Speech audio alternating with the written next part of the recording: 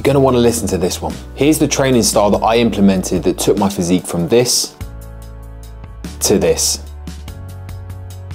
Now before I reveal it, be sure to hit the follow button so you can receive tips on how to achieve a similar transformation. So I went from doing the standard the majority of people do when they first get into the gym, of doing four sets on everything, 10 reps, not really progressing the weight as the sets go on, to then learning about the high intensity, low volume approach, where you do less total sets in the workout, but aim to take all of those sets to absolute failure. So the main focus is quality, not quantity. Alongside this, I tracked my numbers in a logbook and made sure I progressed either the reps or weight every single week. This is a proven way to get incredible results. So if you're ready to learn how it works, DM me and I'll run you through it.